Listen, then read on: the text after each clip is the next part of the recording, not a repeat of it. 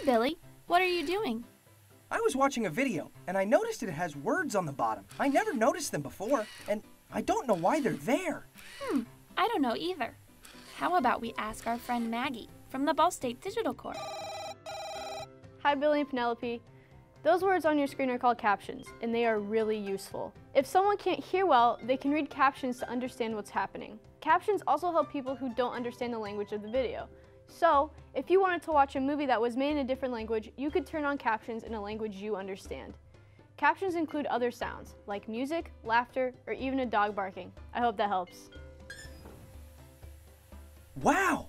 I never would have guessed these words were so useful. It's great that captions are helpful in so many ways. Hey, look! Even we have captions! Wow! I hope they help kids understand us.